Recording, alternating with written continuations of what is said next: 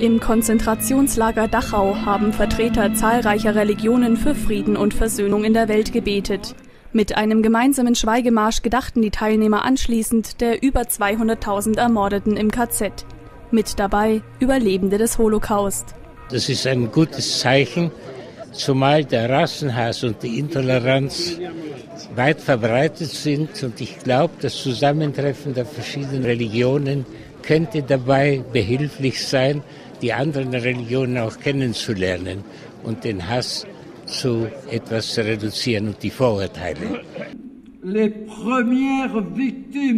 Der französische Kardinal Rocher Echegaray kam im Auftrag des Heiligen Stuhls nach Dachau. Er appellierte in seiner leidenschaftlichen Rede vor allem an die Jugend. Sie seien die Verantwortlichen für eine friedliche Zukunft.